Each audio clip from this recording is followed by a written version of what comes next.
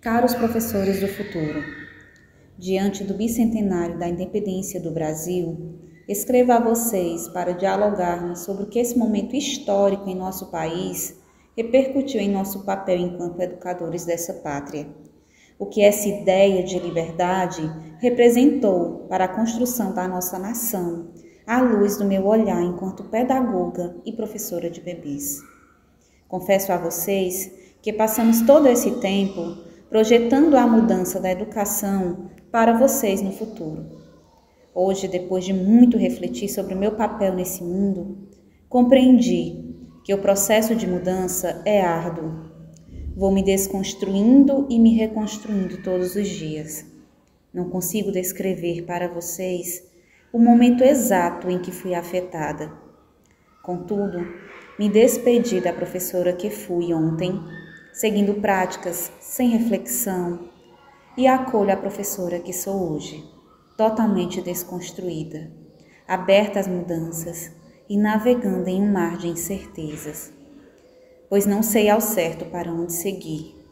São tantas veredas que me convidam a ir além, que meus pés, acostumados a caminhar, passam a caminhar de um jeito mais vagaroso apreciando o movimento suave da paisagem ao meu redor. Entendi que não preciso ter pressa, preciso fazer um constante exercício de sentir o mundo de corpo inteiro. Descobri que o meu lugar no mundo está diretamente interligado na defesa das infâncias, acolhendo a minha, a dos meus filhos e a de todas as crianças que precisam de pessoas crianceiras que tem uma sensibilidade de perceber as sutilezas dos gestos infantis. Por isso, fiz uma viagem nas minhas memórias e fui conversar com a criança que eu fui. Ela me acolheu e me ajudou a resgatar lembranças que me transformaram e que me foram negadas depois que me tornei adulta. Aquela criança de beira de rio que subia em árvores e brincava em sintonia com a natureza uma criança verdadeiramente livre e curiosa. Sou uma professora criança agora, que olha para o mundo com o olhar arrastado da minha criança. Ela me ensina todos os dias a me encantar com as pequenas coisas da vida.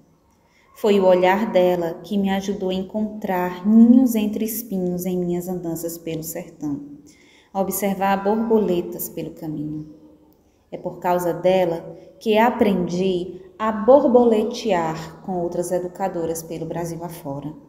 Estamos construindo uma comunidade de educadoras que defendem uma educação para e das infâncias.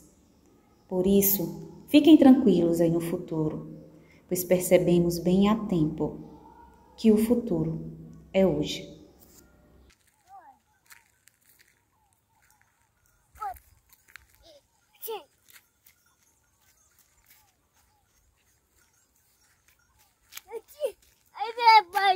A borboleta.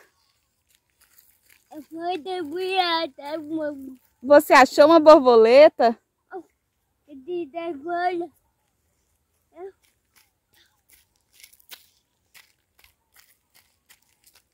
Olha, filho, que linda. Não. Não é bonita, não?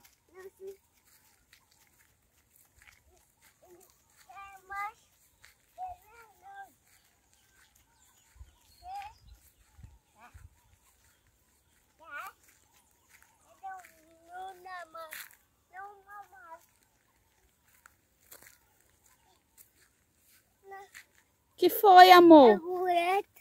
A borboleta? Olha a borboleta amarela.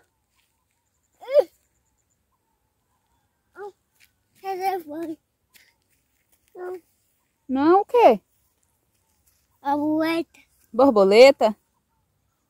É não, não. É não, não. Não, você dá média. Olha o tanto de borboleta. Olha, borboleta amarela.